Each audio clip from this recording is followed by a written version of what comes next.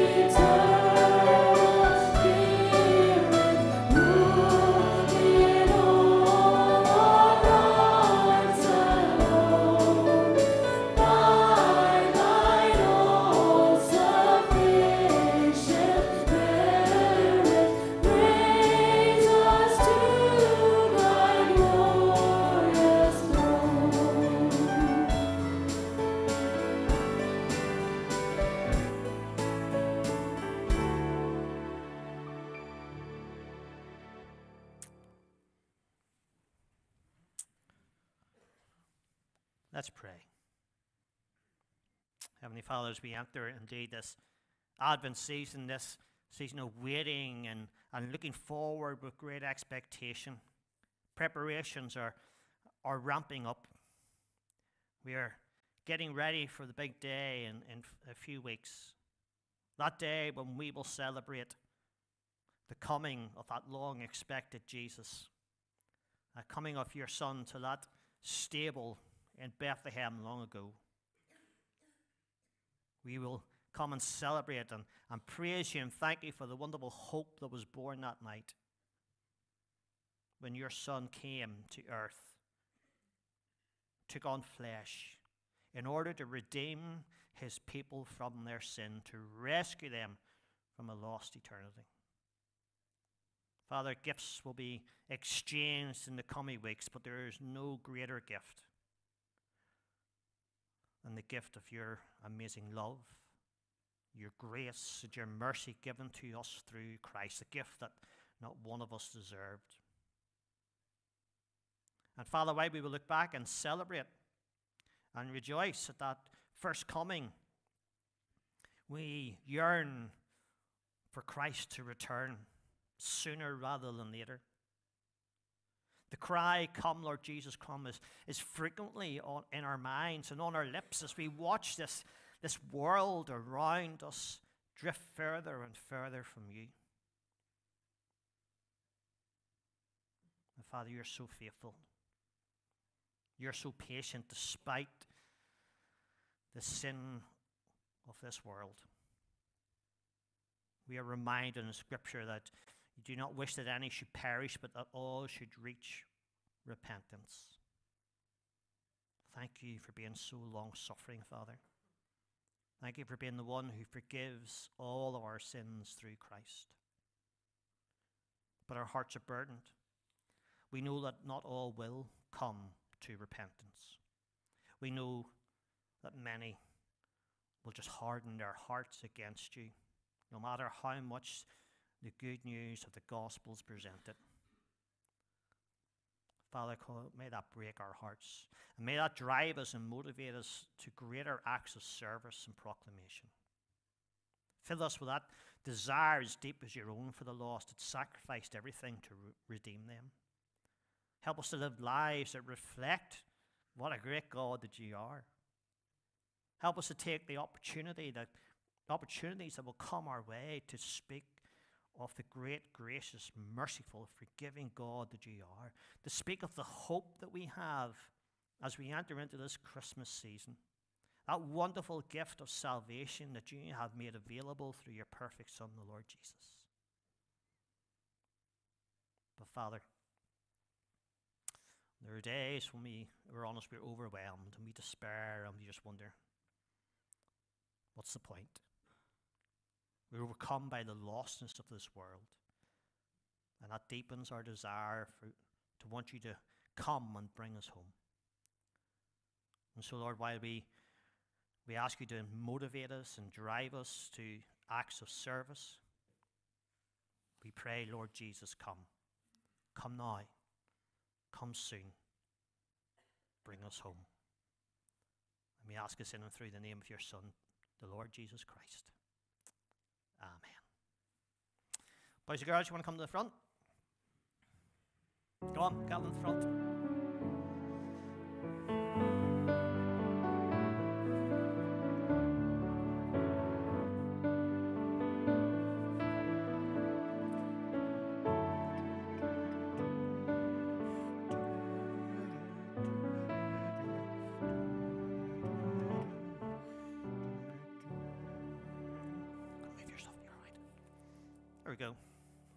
Guys? Come on, curl around a wee bit. Come on around a wee bit. So we can see you. Come on ahead. Well, right. Somebody tells me Christmas is coming. Is it? Yeah? Yeah? How do you know? You're on the ball. The Christmas decorations are going up. You're right. There are lots of clues around, aren't there, that, that Christmas is coming. We don't need to look at the calendar or anything. Lots of things are going up. And, and, even our tree went up, or uh, started to go up on, on Friday night. And there are lots of things that you'll see. As you say, decorations. Here we go. Hold on. Oh, it's buried in the bottom of my bag. Tinsel. It'll come out in a second, isn't it? Um, what do we need for the trees? What else do we need for the trees? Bubbles? I have a box of bubbles here. What's it say in those bubbles? Shout it out. What's it say? Where are they from? What's that say? I don't know whether you just don't want to say it or not. I'm sure you're able to read. No. Here. You should know that from your house. You're big football fans. Good woman, Anna. Leeds United. Yep. There we go. Get that up there. That's the first my wife realizes we have those. So I'm glad it's a soup lunch today. Um, so that, um, maybe some of you have one of these up in your house, like a, a calendar type thing where you can, uh, you can do a countdown to many days that are coming to Christmas. That'll have to go up in our house and you turn it around each day so you know it's getting closer. What do you think that is? What's that smile say? Do you know what that smile's about? Tablet? Maybe you get lots of these at your house as a wee van scoots up your, your lane. Amazon. Does it start coming up your lane a whole lot more, coming closer to Christmas, all those presents being delivered? It's on your tablet, I know. So maybe you get seeing lots of that and wondering, is that for me? Or is that my dad just not going to the shops and buying stuff for my mum online? Like that's more like it, to be honest. I'll leave that there. What else do I have? People start dressing up silly, don't they? They start wearing these silly jumpers. I wasn't wearing that last night. I was not wearing that last night, but yes, I was. Or you can really go to town.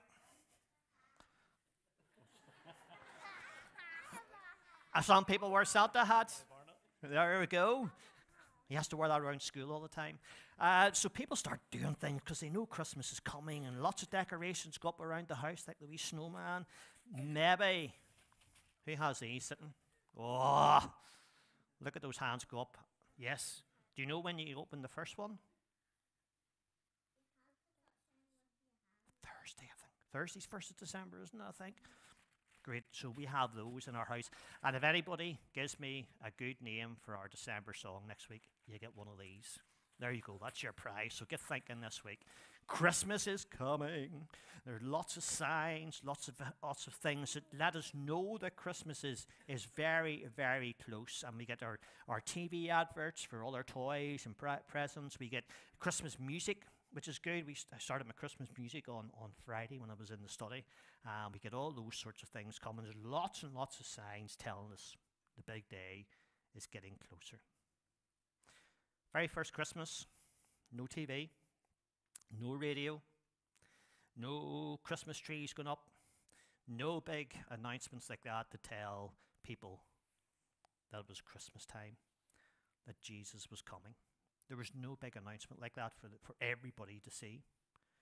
When he was born, very, very few people knew about it. Shepherds knew because the angels came, the wise men knew because they had been looking for it, but very, very few people knew about it.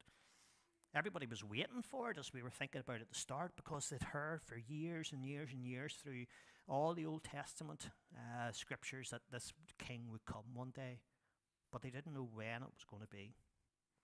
And they were looking forward to it, waiting and waiting and waiting. And that's what Advent means when I was talking about earlier. It means about waiting, looking forward to something happening, but waiting for it to happen. And we are in that period of waiting when we will one day in a few weeks come together and celebrate the birth of Jesus, who is the Savior of the world, who came, came to rescue us. But Jesus also made a promise not only to come that first time, but to come back. We were thinking about that in our prayers. That Jesus said he will come back one day. And just as people 2,000 years ago were waiting for this promised one that God said would come to them, many, many people, those who believe in Jesus, are waiting now. They just cannot wait for him to come back. But nobody knew when he was coming the first time, and nobody knows when he's coming the second time. Not a clue when it's going to happen. It's not marked on our, our calendar.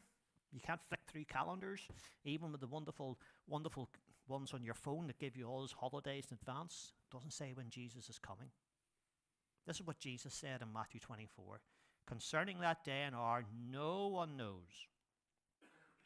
Not even the angels of heaven, nor the Son. Jesus didn't know when he was going to return, but only the Father.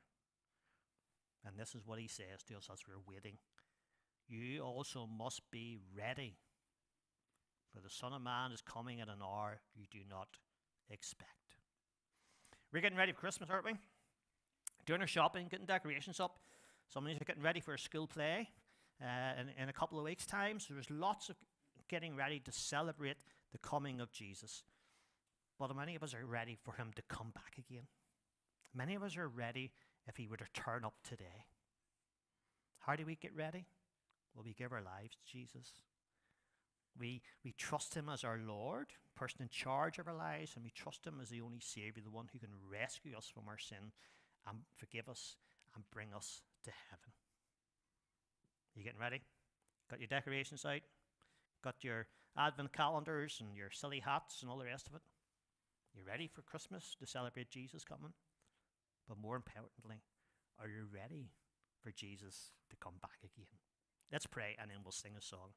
Father, thank you for this wonderful time of the year. Thank you for all the excitement uh, that we'll be building in, in the next few weeks. Uh, Lord, as we get closer to Christmas Day and be able to rip open our presents and enjoy a, a, wonderful uh, meal with family and, and friends. Uh, and we thank you for what it means to so many of us. We praise you. And it's a time when we remember, remember the greatest gift, the greatest gift that you promised in sending your son Jesus. And Father, we thank you that one day he's coming back again. And for all who know him, love him, trust him, he will bring to a wonderful place. He will bring us into your presence in heaven, where everything will be perfect forevermore. So, Lord, thank you for your great gift. In Jesus' name, amen.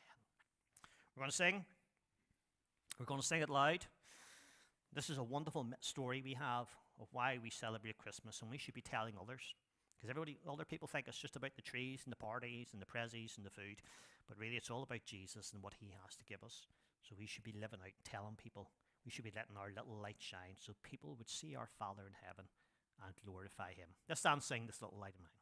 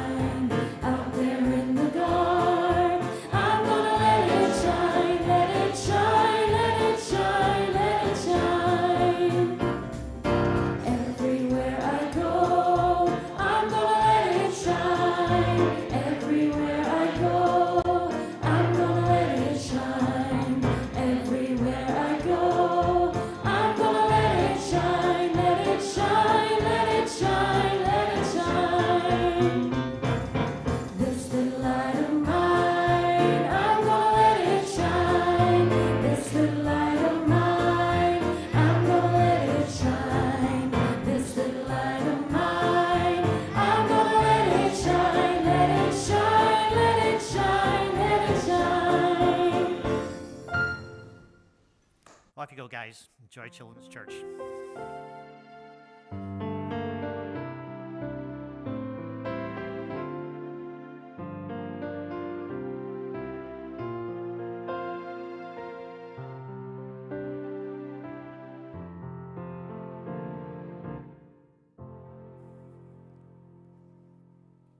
Turn with me, please, to the book of Joshua.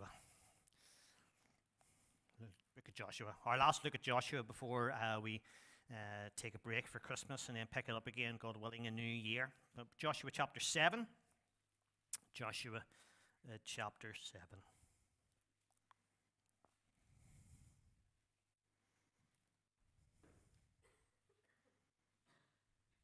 Let's hear the word of God as we find it in this passage of the Old Testament. But the people of Israel broke faith in regard to the devoted things. Achan, the son of Carmi, son of Zabdi, son of Zerah, of the tribe of Judah, took some of the devoted things. And the anger of the Lord burned against the people of Israel. Joshua sent men from Jericho to Ai, which is near Beth Aven, east of Bethel, and said to them, Go up and spy out the land. And the men went up and spied out Ai.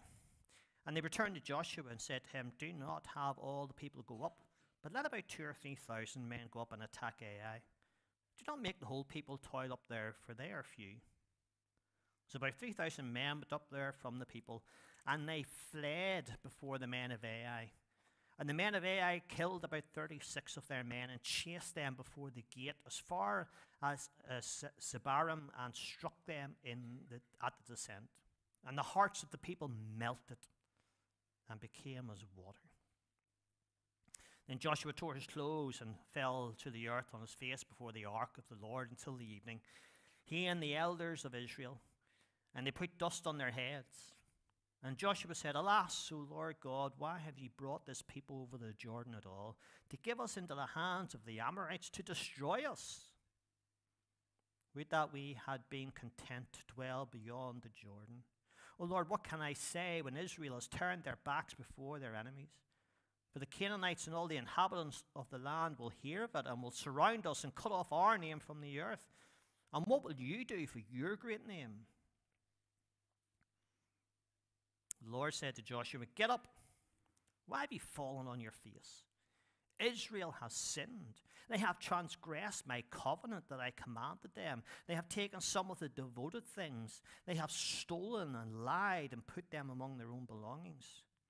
Therefore, the people of Israel cannot stand before their enemies. They turn their backs before their enemies because they have become devoted for destruction. I will be with you no more unless you destroy the devoted things from among you. Get up, consecrate the people, and say, Consecrate yourselves for tomorrow, for thus says the Lord God of Israel. There are devoted things in your midst, O Israel. You cannot stand before your enemies until you take away the devoted things from among you. In the morning, therefore, you shall be brought near by your tribes, and the tribe that the Lord takes by lot shall come near by clans, and the clan that the Lord takes shall come near by households, and the household that the Lord takes shall come near man by man. And he who is taken with the devoted things shall be burned with fire, he and all that he has, because he has transgressed the covenant of the Lord, and because he has done an outrageous thing in Israel. So Joshua rose early in the morning and brought Israel near tribe by tribe, and the tribe of Judah was taken. And he brought near the clans of Judah, and the clan of the Zerahites was taken, and he brought near the clan of the Zerahites man by man, and Zabdi was taken. And he brought near his household man by man. And Achan, the son of Carmi, son of Zabdi, son of Zerah, of the tribe of Judah, was taken. Then Joshua said to Achan, My son, give glory to the Lord God of Israel and give praise to him. And tell me now what you have done. Do not hide it from me. And Achan answered Joshua, Truly I have sinned against the Lord God of Israel, and this is what I did. When I saw among the spoil a beautiful cloak from Shinar and 200 shekels of silver and a bar of gold weighing 50 shekels, then I coveted them and took them. And see, they were hidden in the earth inside my tent with the silver underneath. So Joshua sent messengers, and they ran to the tent, and behold, it was hidden in his tent with the silver underneath. And they took them out of the tent and brought them to Joshua and to all the people of Israel. And they laid them down before the Lord. And Joshua and all Israel with him took Achan the son of Zerah, and the silver and the cloak and the bar of gold, and his sons and daughters, and his oxen and donkeys and sheep, and, up, and his tent, and all that he had. And they brought them up to the valley of Achor. And Joshua said, Why did you bring trouble on us? The Lord brings trouble on you today. And all of Israel stoned him with stones. They burned them with fire and stoned them with stones. and they raised over him a great heap of stones that remains to this day. Then the Lord turned from his burning anger. Therefore, to this day, the name of that place is called the Valley of Achor. Amen. And we thank God for his word to us. I realize that many of you not, are not into football. Um, you've absolutely no interest in it, so you probably haven't turned on the TV once this week to uh, see the World Cup and to see what is, what is happening. Well, let me give you a, a little bit of a feel for it. It's been a fascinating tournament so far. Some major upsets. On Tuesday, Argentina played Saudi Arabia. This was a, a real David and Goliath encounter in, in the World Cup. Argentina were, came into the tournament as one of the favourites to win the competition. They were the third best team in the world. Uh, and arguably the best player in the world on, on the left hand side of the screen here, Lionel Messi. They, as a team, had won 26 games in a row. The last time they were defeated was back in 2019 by Brazil.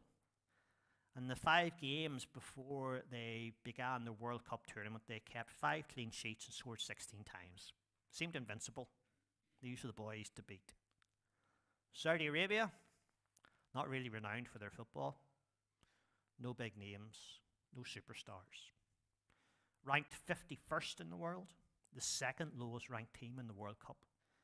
And since 2020, they have won a total of 11 games. Seemed a foregone conclusion, didn't it? It's only going to go one way. So one team is going to get thrashed. Or was it only going to go one way? It certainly started out well. Argentina began strongly on, on the game. They, they scored a penalty. They had three goals ruled out for offside, and then something happened.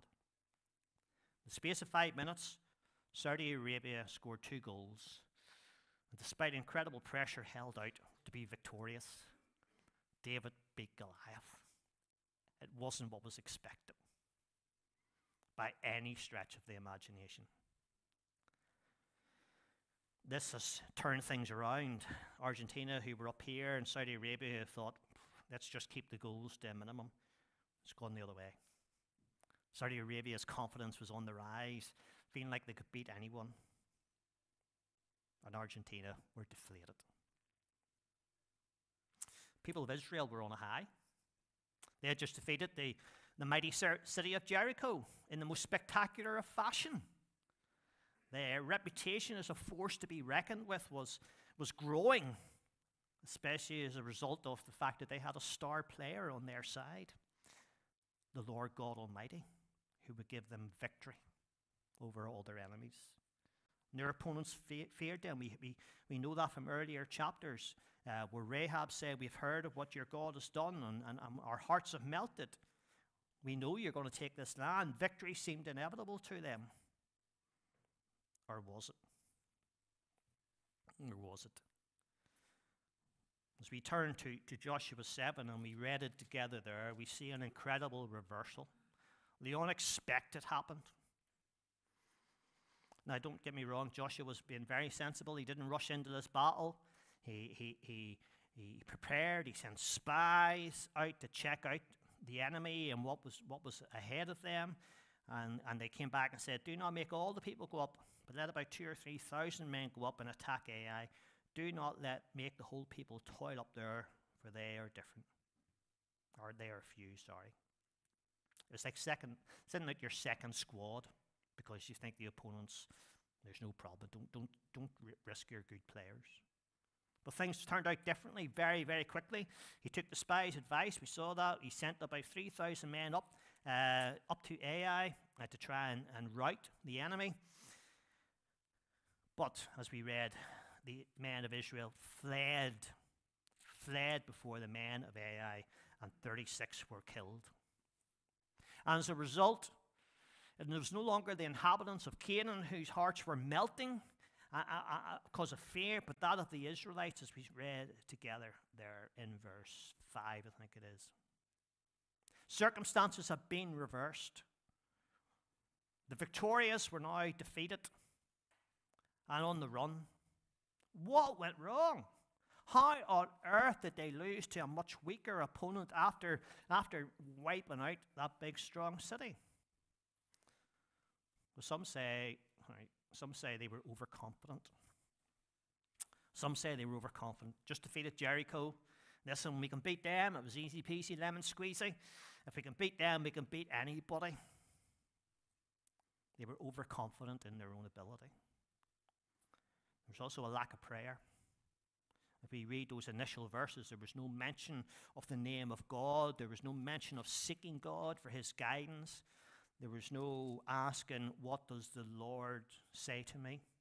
as Joshua did before they attacked Jericho. There just appears to be no seeking of the Lord at all at this time. I know we've talked before in our studies in Joshua, and we've talked about it before, that we are in a battle, a spiritual battle, a spiritual battle for the kingdom of God, a battle to see the honor of God's name restored in our society, a battle to see people set free from the, the power of sin and evil and, and, and come into life and all of its fullness that Christ gives. But we also know that the church is declining. The numbers attending church are down like that, rapidly declining. If you look at the latest census, what is on the increase are those who claim to have no religion atheists, humanists, whatever title you want to give them. Things are changing. And we see that in the moral and ethical uh, standards of, of our society. Why? Well, we can argue the church has been overconfident and fails to pray. Overconfident for, because for years the church was a strong influence within our society. People listened to it, people sat up and had respect for its opinions. Attendances were high, uh, largely as a result of tradition, if we're honest, and habit. And it was a socially acceptable thing to do. We didn't, church didn't have to do much. Let's just sit back and people will come in. People will listen to us. We don't have to work too hard.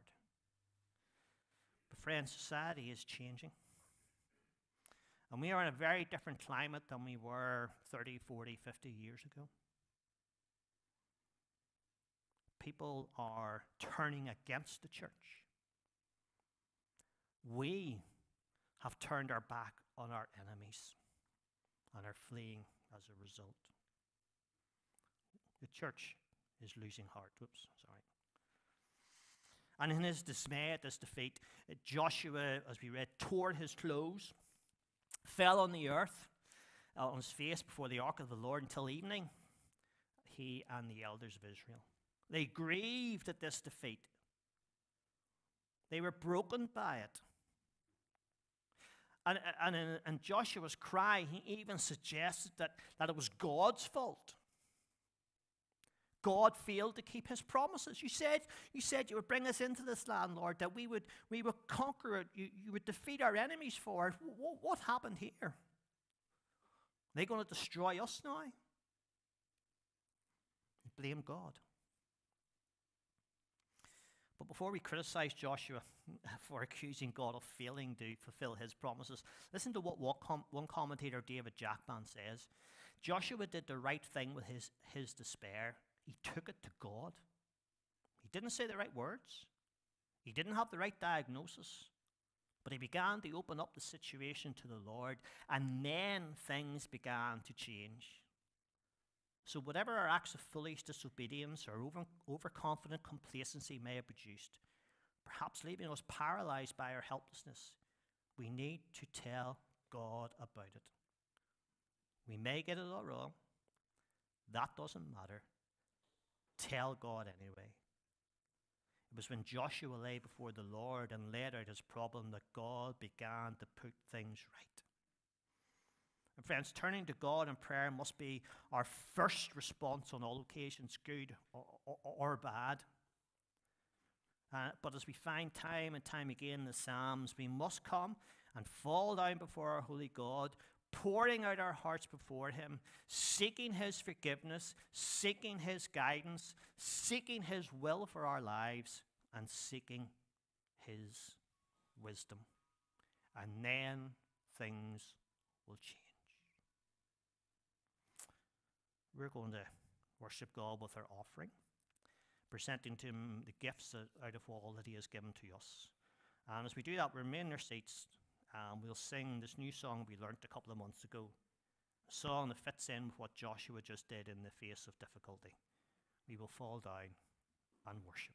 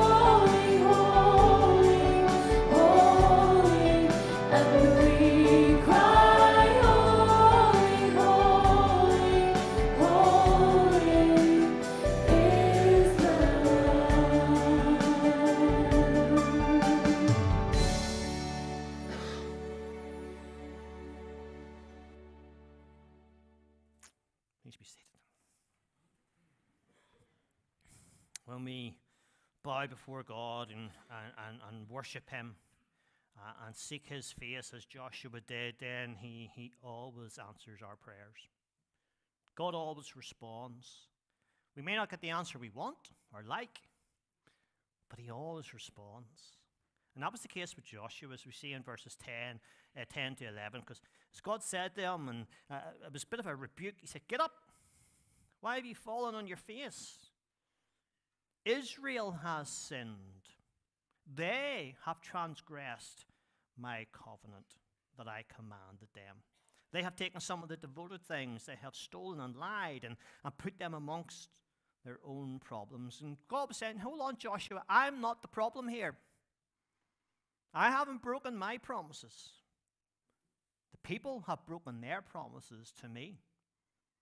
They have disobeyed me. They have gone against my word.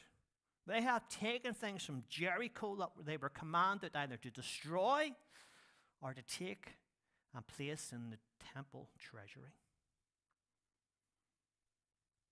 They are to blame. And what was the consequence of taking those devoted things? It was that the people of Israel had become devoted for destruction. People were supposed to destroy what they found in Jericho. Now they were the ones who were facing destruction because of their disobedience. This is why Ai, this weak opponent, overcame the raiding party that was sent out by Joshua. And so jo- God said to Joshua, Listen, get up and go and sort the problem. Don't moan and groan about it. Get up and go and deal with it. Put everything back in order. Sort your own house out. And God gave instructions as to how that was to be done. And Joshua then went and told the people and warned them that unless we get ourselves right, unless we root out this problem, then Ai will not be our only defeat. We will face many more. We need to remedy the issue. In fact, not only would they face defeat, but this is, this is the scary bit, or it should frighten us when we hear it. God said, I will be with you no more. I will be with you no more. Skip forward to Revelation. The seven churches in Revelation. Get your house in order, God says. Get back to doing what you're supposed to do and be, or else I will remove my lampstand from you. Colin Peckham says this that is about as serious as it gets because the presence of God is everything. How often our meetings are barren, dry, cold, without conviction, and with no sense of the presence of God. What a threat! The divine withdrawal. To forfeit that is a disaster. Without the presence of God, Israel had no hope of conquering the promised land and, in fact, could be wiped off the face of the earth. Without the presence of God, the church is dead and will eventually cease to exist. Go to Revelation. The seven churches, strong churches, active congregations in their community. Many of them are still in existence today. They failed to listen to the warnings that God gave them, and He removed the lampstand from their midst. He removed their, His presence from them. Maybe some of you are saying, but Ronnie, we're not as bad as that. And we, we, we're faithful to the Word of God. It's the gospel's preached faithfully. We, we preach salvation in, in Christ alone, through, through faith alone. We haven't drifted from the, the truth as someone's done in issues such as marriage and the sanctity of life. And, and we, can, we can have all sorts of arguments saying, Ronnie, we're not like that. We're not like that. But, friends, we're not perfect. We're not without sin. I go back to, to Revelation, Ephesus, the church in Ephesus. They were commended for what? Their devotion to the word. They were commended for their hatred of sin and, and false teachers. They were commended for their hard work. But then they were chastised for abandoning their first love. You see, folks, they've become legalistic. They thought if we ticked all the right boxes, yes, there's the Bible, we preach it. Yes, yes, we, we, we abhor those terrible things that are going on in society. Uh, yes, we'll run all sorts of activities. Tick, tick, we're good. We're a good active church. We'll be all right. But you know what? They forgot that it was about Christ and not about them. They forgot that the church existed to bring glory to Christ first and foremost, and not for the reputation of the church of Ephesus. Matthew West is a contemporary Christian singer, and he, he's a fairly new song out that puts things a bit like this One life, one mission, one reason why I'm living, all for you, not for me. My story is your glory. And too many of our congregations are, are, are concerned about their own reputation. What do people think of us in first, in first Broughshane or second Broughshane or St. Patrick's or third Ballygo backwards? They're worried about us and how we're worried about us but we forget more about God's reputation. What shall, well, what will you do for your great name? So while we seem to be doing all the right things, if we're not doing it for the right reason, all for God and not for us, then God will remove his presence from our midst. Enrico Tice, I was listening to him speak at a conference. He said, even the tiniest spiritual objective becomes impossible stark warning. Someday, some Wednesday night, I'm gonna I'm gonna put that Rico Tice talk up. It was amazing and challenging. Um, he was speaking to pastors at a conference in America. But friends, the problem is not just a corporate issue of, of, of the wider church or the congregation. It's a personal issue about you and me as individuals. Not one of us is perfect without sin. And again, some will say, well, listen, Ronnie, we, we don't deliberately uh, and blatantly disobey God as Achan did. Yes, we don't always get it right, but we're not that bad. Friends, we still disobey God. We still commit sin against Him. A number of years ago, I picked up uh, this book from the bookshelves of, of, of Faith Mission Store because the title grabbed me Respectable Sins. Respectable sins. Is there really such a thing as a respectable sin? And then when I lifted up, I looked down, and then says, confronting the sins we tolerate. It deals with issues such as our discontentment, our unthankfulness, our ungratefulness, our selfishness, our impatience, our irritability, our judgmentalism, the sins of the tongue, which we studied last year in James, our worldliness, and a number of other things. Things that we easily dismiss as being, oh, don't worry about that.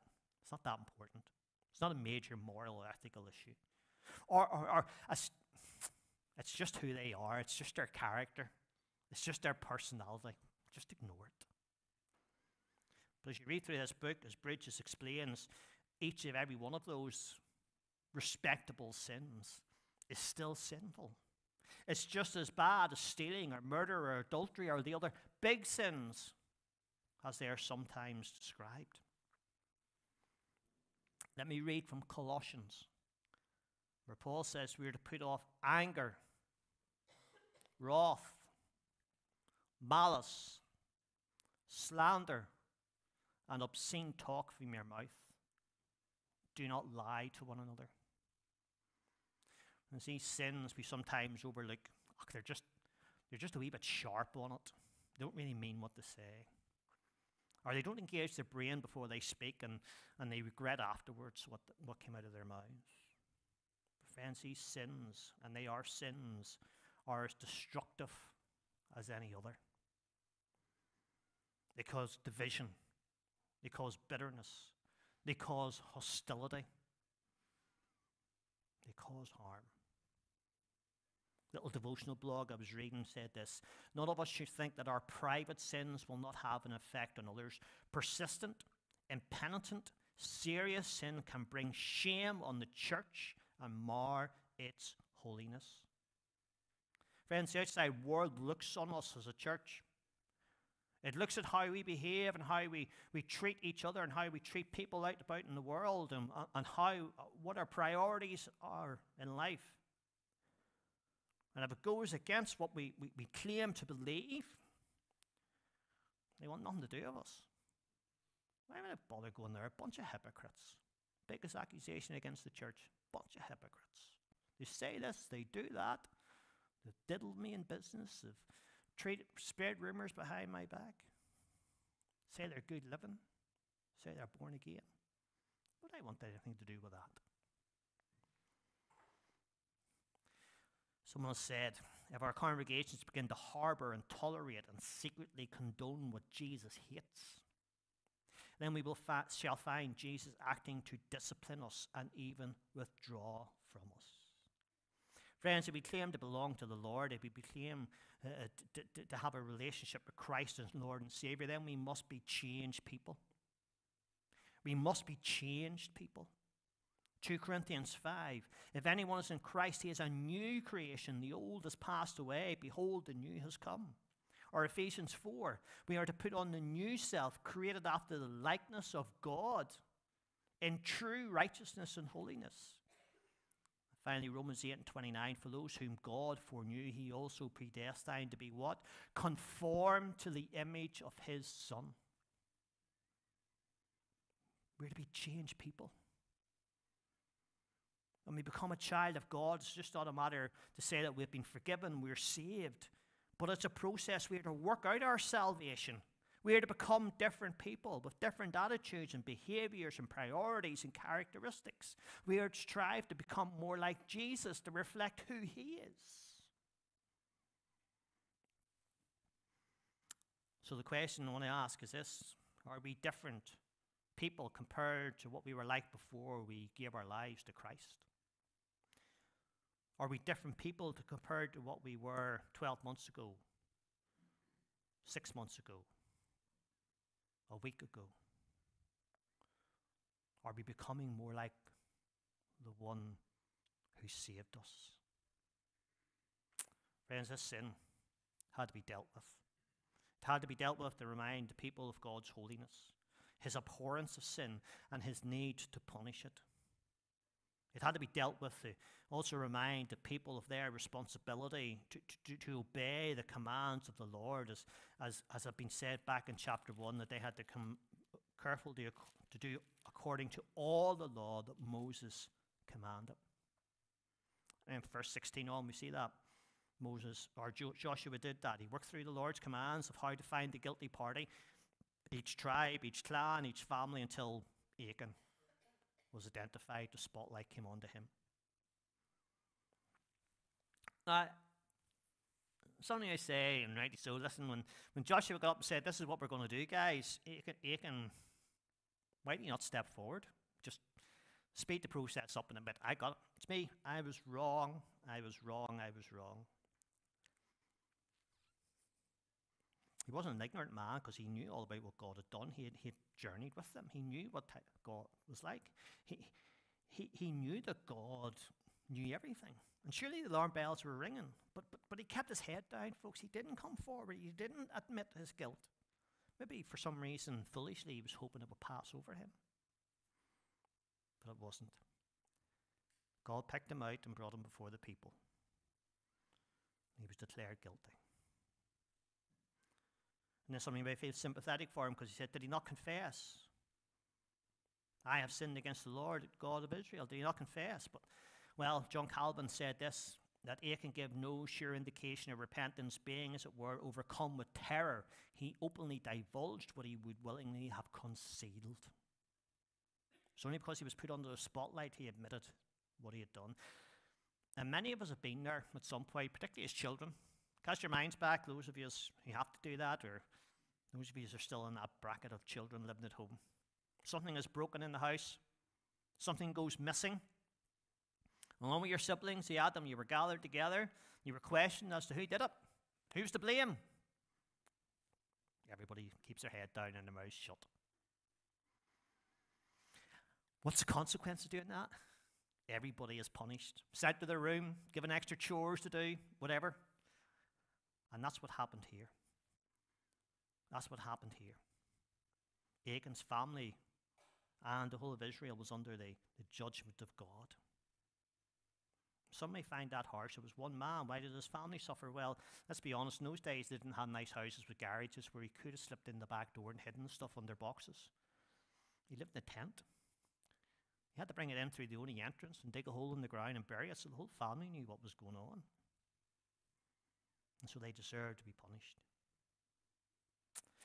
But going back to that childhood illustration, when the truth comes out, who was actually the guilty party, they suffer a greater punishment, don't they? They suffer a greater punishment because they were found out.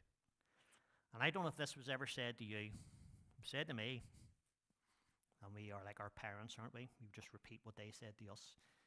If only you told the truth at the start, rather than lying, it wouldn't be as bad. If only you'd stood up and told the truth at the start. And friends, that's why what Achan said wasn't a true confession. It's not that he came forward with a guilty conscience and, and, and knew he was wrong. He was caught red handed and had no choice but to admit it. And friends, are we any different?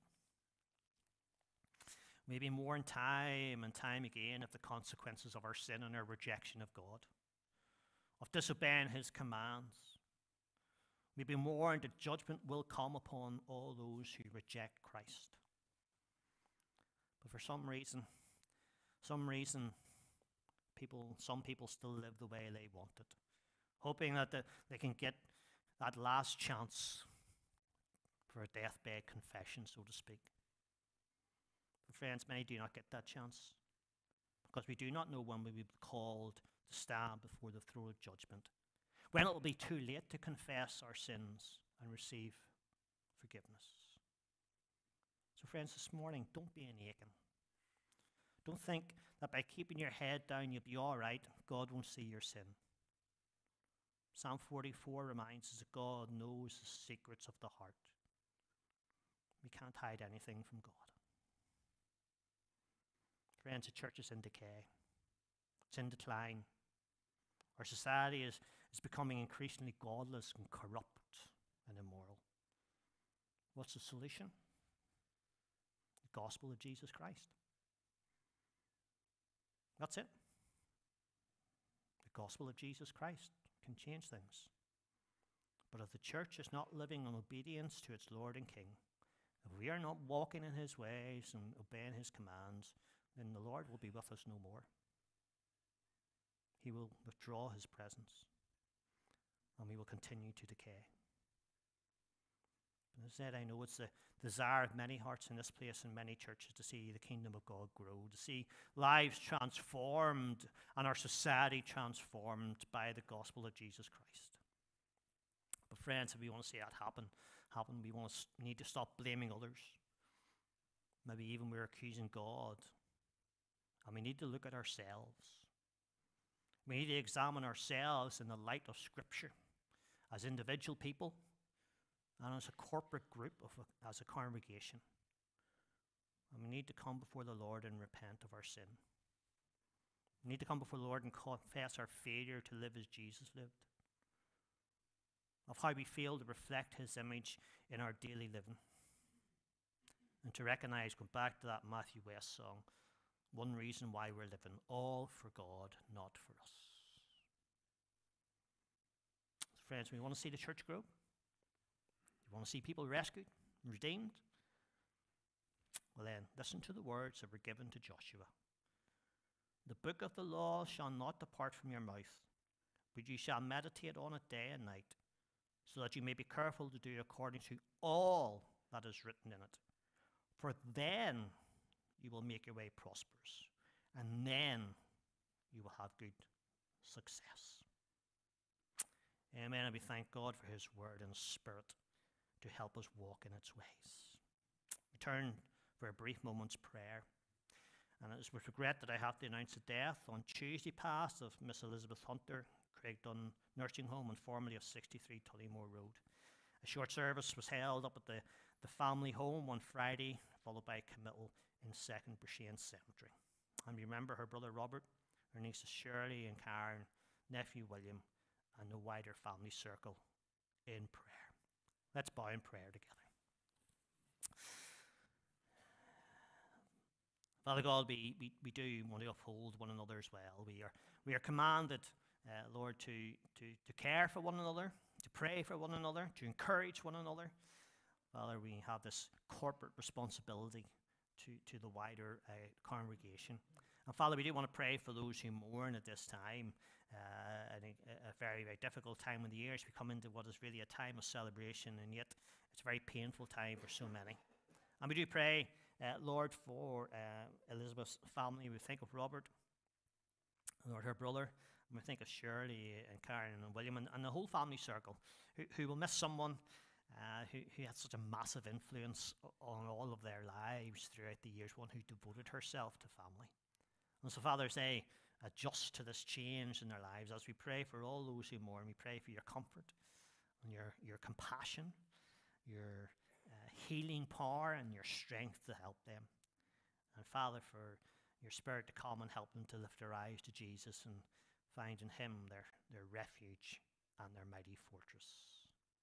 So, Lord, we surround them uh, with our prayers and ask you to come and dwell in their midst. Father, we want to thank you for yesterday, for the great evening we had in the hall, for everyone who, who gave of their time and energy, and, and Lord, to, to open the doors and, and just to invite people in. Thank you for the many, many who came through the door. Thank you for the, the carols that were sung, for the refreshments that were served, and for the little leaflets that were given out, and Bibles and, and books, Lord, uh, put into people's hands to tell of the wonderful story of Christmas. We pray that they will not just be chucked in a corner or left on the, the floor of the car, but people will open them and, and flick through them, Lord, and be reminded of, of why we, we do celebrate this, this festive season. And, and Lord, that you would speak to them through that and, and cause them to rethink and cause them to be maybe curious and want to come back and hear more.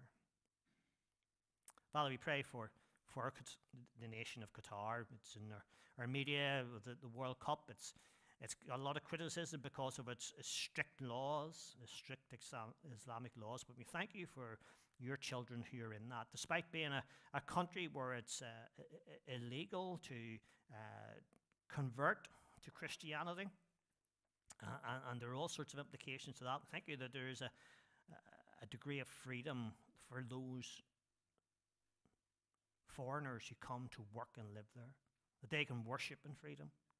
And so, Father, we pray for those, that small number of believers, that you would watch over them and you would help them create opportunities where they can share the gospel of Christ with their, their, their neighbors, with their work colleagues, or whoever uh, they engage with, and, and that your church would grow and continue to grow because we know what it is. And so, Father, we pray that your spirit will move as the eyes of the world are on this country. And instead of looking at the difficult things, the, the, the stories of the growth of the kingdom of God will, will start to hit the headlines. And many, many will come uh, to know you as Lord and Savior. And Father, just for ourselves as we enter into a new week, we pray for your Spirit to be upon us to help us to live for you. We pray for those among us who are sick. We think of the Logans as Ruth and Andrew fly off to, to Newcastle today to begin the next course of treatment, that you will watch over them and the family at home, and you will keep them safe, Lord, and, and continue, continue to plead for healing. And for others who are in hospital, those who are at home unwell, again, we pray for your presence and your healing touch upon them. So, Father, thank you for this time together. Thank you for this wonderful, wonderful time together. And may you be glorified and magnified. And we ask this in Jesus' name. Amen. I'm going to sing an old hymn, an old, old hymn. But we are faced with temptation every day we open our eyes until we close it. Temptation to lead us away from the Lord and walk in a way that doesn't bring Him glory, doesn't bring Him honor, but brings uh, shame upon His name. This is simple song says, Yield not to temptation.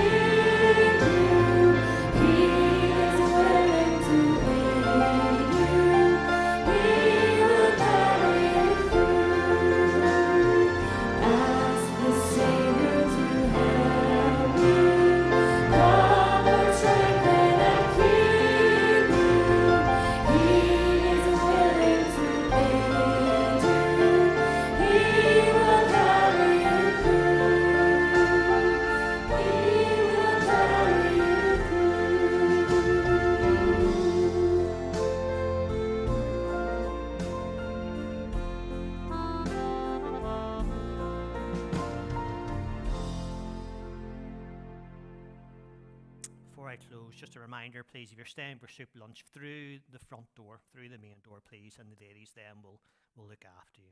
But let's, let's pray. Father, thank you for our time together. Thank you for the bread of life that you have broken before us and fed us to strengthen our souls, Lord, so that we will walk more faithfully with you. And thank you for the food that is uh, over waiting for us over in the hall. Thank you for all the ladies who have worked hard to prepare it and to set it up and will serve us. Father, may you bless their bodies and may our time together be a time honouring unto you and strengthening of your church. Now may the grace of our Lord Jesus Christ and the love of God the Father and the fellowship of the Holy Spirit be with us all, with us all now and forevermore. Amen.